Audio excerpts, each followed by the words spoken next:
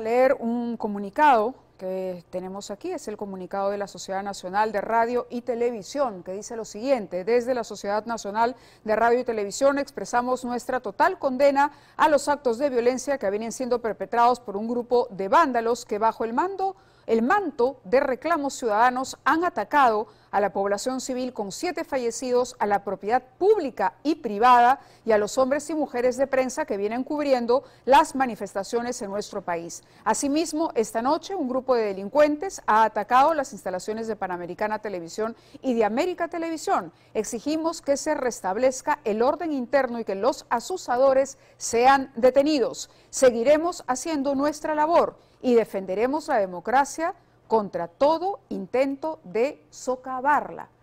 Un comunicado que los periodistas de Panamericana Televisión suscribimos en su totalidad.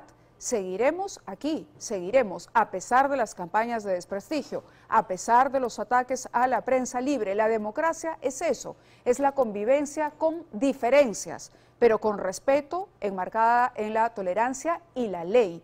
Lo que no podemos permitir es precisamente ese cruce de la línea, cuando ya deja de ser la protesta legítima y se convierte en terror, violencia, delincuencia, vandalismo.